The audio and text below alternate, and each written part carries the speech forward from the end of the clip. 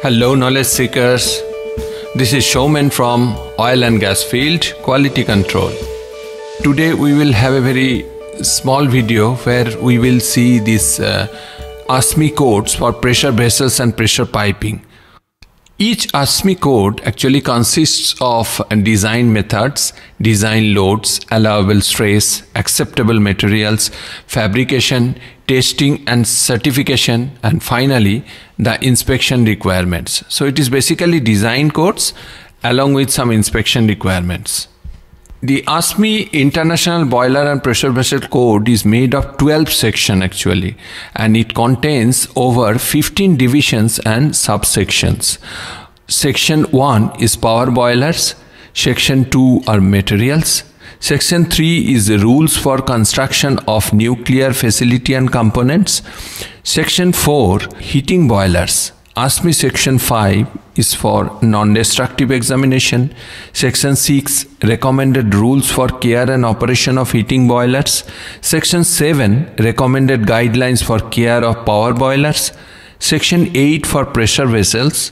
Section 9 for welding and brazing qualifications which are extensively used for welder qualification specifically for refineries and pipings. Also for pipelines.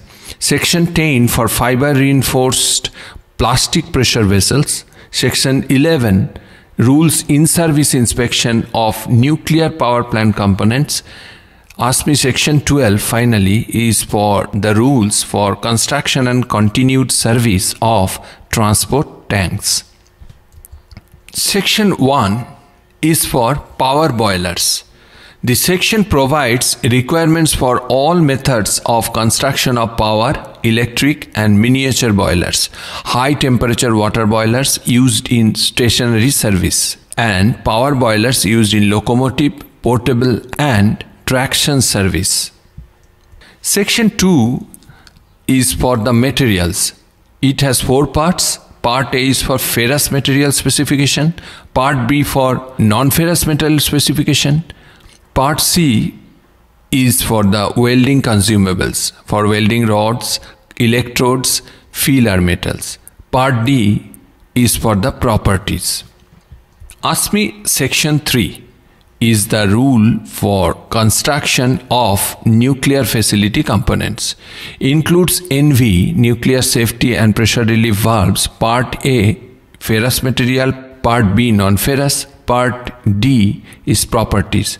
The subsection contains appendices both mandatory and non-mandatory for section 3. The division 1 includes the subsection NCA through NH and as described below.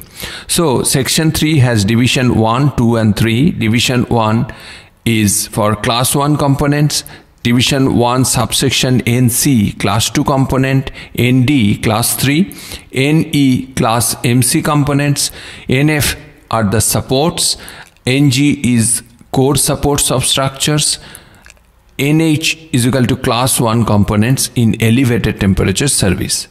There are division 2 code for concrete containments.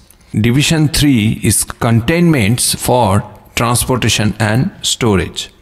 ASME Section 4 is for heating boilers, requirement for design, fabrication, installation and inspection of steam generation boilers and hot water boilers intended for low pressure service that are directly fired by oil, gas, electricity or coal. It contains appendices which cover approval of new material, methods of checking safety valve, safety relief valve capacity, definitions relating to boiler design and welding and the quality control system. ASME section 5 is also very popular because non-destructive testing, all the requirements we have to follow from here. So requirements and methods of non-destructive testing which are referenced and required by other code section.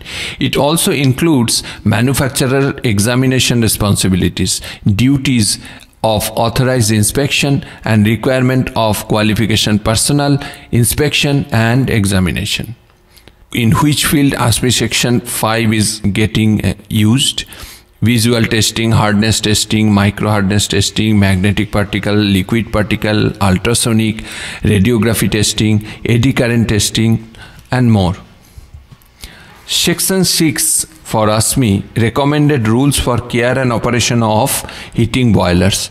It defines general description, terminology, guidelines applicable to steel and cast iron boilers limited to operating ranges of section 4 heating boilers.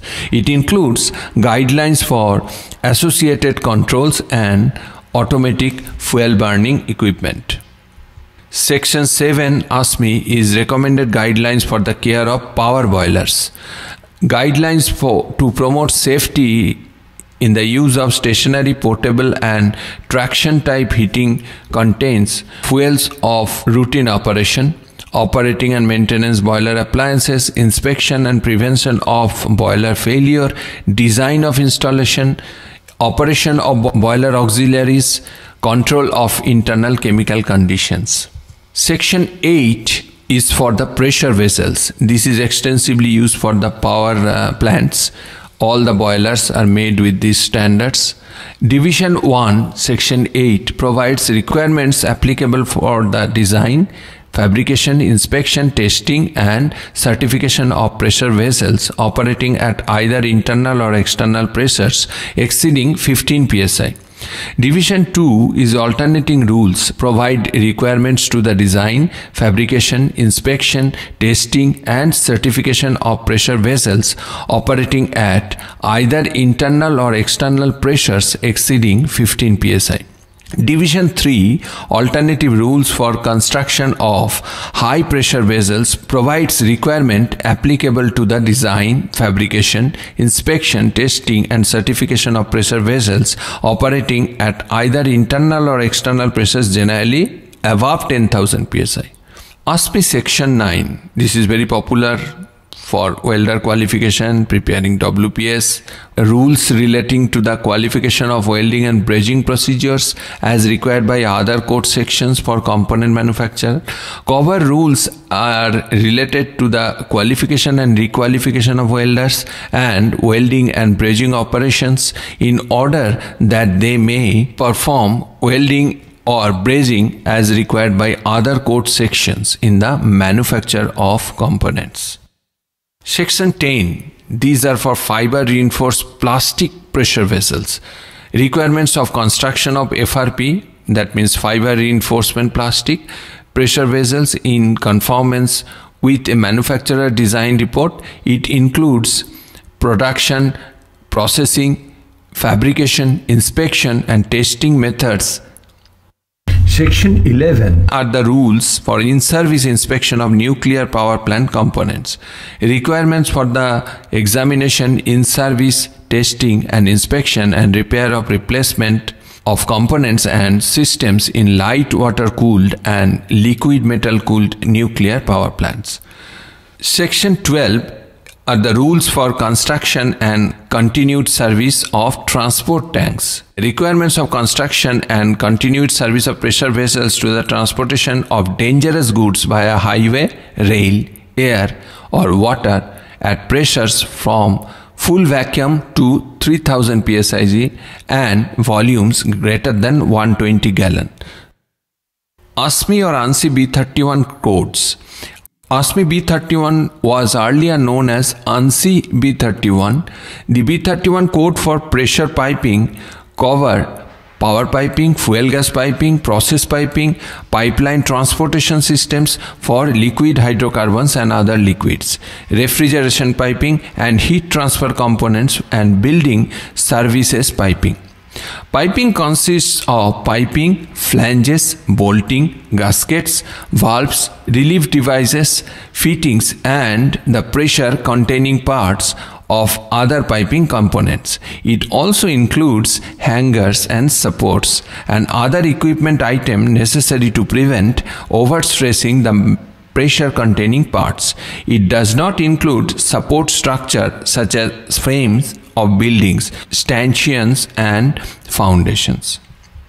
B31.1 is for power piping, required piping for industrial plants and marine applications and this uh, code prescribes requirement for the design material fabrication erection test and inspection of power and auxiliary service piping system for electric generation stations, industrial institutional plants, central and district heating plants, the code covers boiler external piping for power boilers and high temperature, high pressure water boilers in which steam or vapor is generated at a pressure of more than 15 psi and high temperature water is generated at pressures exceeding 160 psig and or temperature exceeding 250 degrees Fahrenheit.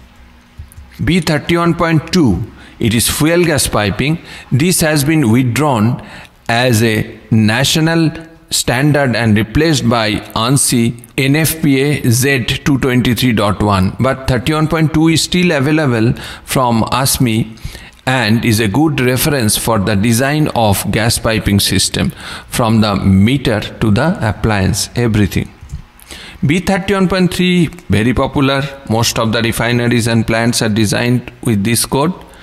Uh, you know this is for process piping it is design of chemical and petroleum plants, refineries, hydrocarbon, water and steam.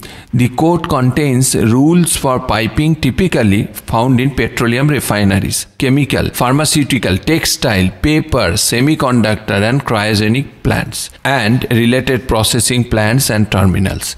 It, it prescribes requirement for materials and components design, fabrication, assembly, erection, examination, inspection, and testing of piping. All are covered. Also included in piping which interconnects pieces and stages within a packaged equipment assembly. B31.4 and B31.8 you know these two are very familiar standard for us the pipeliners. So B31.4 is pipeline transportation system for liquid hydrocarbons and other liquids. This code uh, prescribes the requirement for the design material construction assembly inspection and testing of piping transporting liquids such as crude oil condensate, natural gas liquids, liquefied petroleum gas, CO2, liquid alcohol, liquid anhydrous ammonia, liquid petroleum products between producers, lease facilities, tank farms, natural gas processing plants, refineries, stations, ammonia plant, terminal, marine rail and truck, and other delivery and receiving points. The requirement for offshore pipelines are found in chapter 9. Also included within the scope of this code are primary and associated liquid petroleum and anhydrous ammonia B31.8 is gas transmission and gas distribution piping system. This code covers the design, fabrication, installation, inspection and testing of pipeline facilities used for the transportation of gas. This code also covers safety aspects of the operation and maintenance of those facilities. B31.8S it is managing system integrity of gas pipeline. It is a site standard in addition to B31.8. B31.9 is building services piping. This section has rules for piping in industrial, institutional, commercial and public buildings and multi-unit residences which does not require range of size, pressures and temperatures covered in B31.1.